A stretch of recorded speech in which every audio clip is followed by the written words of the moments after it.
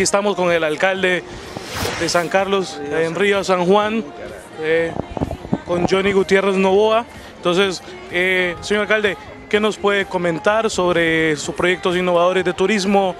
Nosotros como turistas, como mostrar a nuestro público qué es lo que nos, lo más nos interesa, ¿qué nos puede decir sobre esos proyectos a futuros de turismo? Así es, mira, nosotros prácticamente, está en un escenario prácticamente virgen de turismo, creo que tenemos unos escenarios naturales bellísimos, Aquí nosotros contamos con un sitio Ramsar, que es Los Guatusos, pertenecemos al sitio Ramsar, tenemos un parque natural como está el archipiélago de Solentina, me lo tenés aquí al frente, tenemos un monumento histórico que es la fortaleza del castillo del río San Juan y por supuesto estás en la parte baja de la cuenca hidrográfica más grande de Centroamérica como es el río San Juan.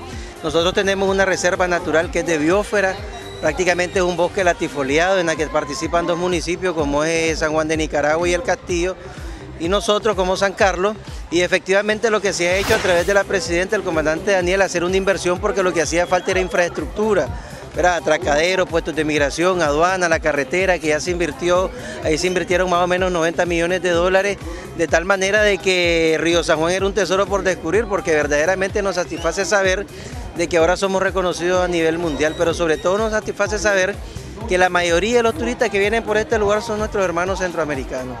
Nosotros tenemos un concepto de tal manera de que estamos tratando también de eh, e interconectarnos con nuestros hermanos de Centroamérica, en este caso Costa Rica. Ahorita acaban de comenzar a hacer el puente Río San Juan, más o menos como a 10 kilómetros de acá, que va a ser el puente más grande de este país, el más alto de este país, que nos va a permitir ir a la hermana Costa Rica con mejores condiciones.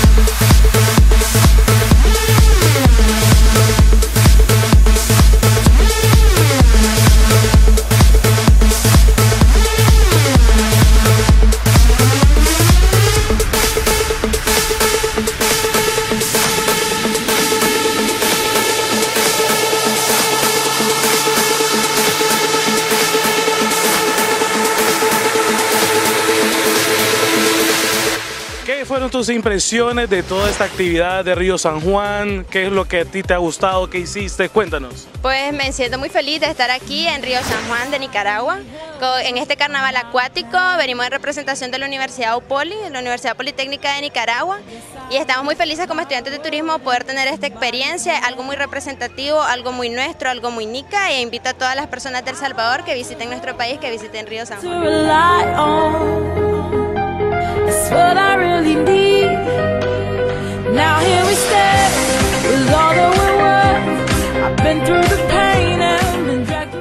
Como vos podrás ver, eh, aquí estamos en la parte sur del lago tropical, el segundo lago tropical más grande de América, como es el lago Cocibolca, tiene más o menos 8.000 kilómetros cuadrados de extensión.